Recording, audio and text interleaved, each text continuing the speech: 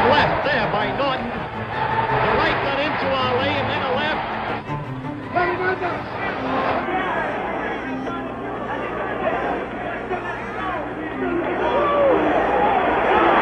Angelo, Angie, what is wrong with your fighter? Tell me now. It's a little bit of what we saw from Ali against Joe Frazier.